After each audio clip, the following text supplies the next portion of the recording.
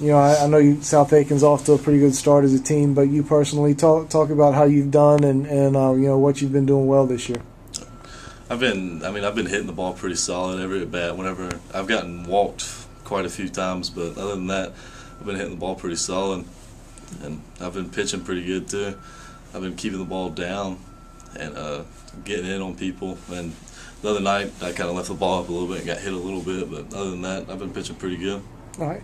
Well, talk, for for those who haven't seen you play, talk a little bit about your strengths as a pitcher. What what do what do coaches like about you on the mound?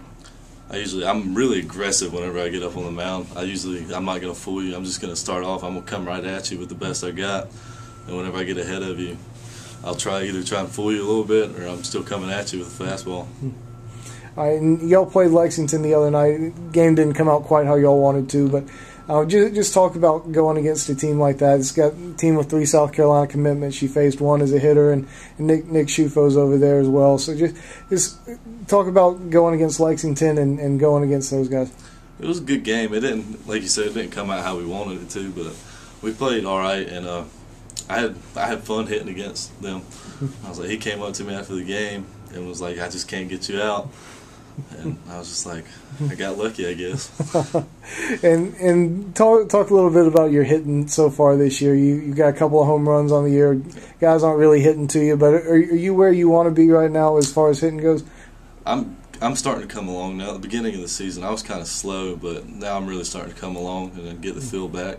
And what are some of the things that you you want to work on going forward, uh, whether whether it's this high school season or this summer before you get to South Carolina?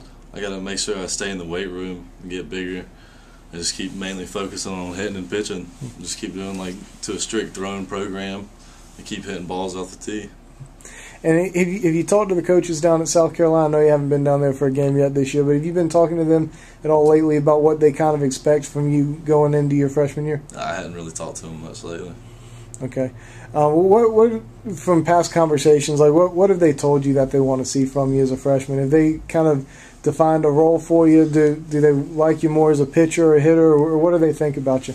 It started off they liked me as a hitter, and then it came along to where they came and saw me pitch, and they saw me my velocity jump, and they liked me pitching, and they told me they'd like for me to be a Friday night starter and be a DH, but I'd have to work hard for that. So that'd be my goal. Yeah, is that something that I mean? Obviously, that's something that would uh, be a huge role for you. I mean, Yeah. that's, that's got to be an exciting, exciting thing for you to hear from a coaching staff like that. All right.